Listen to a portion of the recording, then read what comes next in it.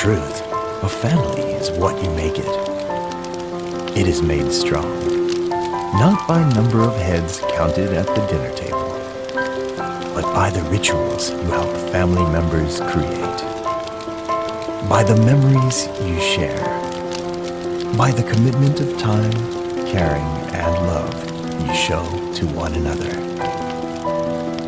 and by the hopes for the future have as individuals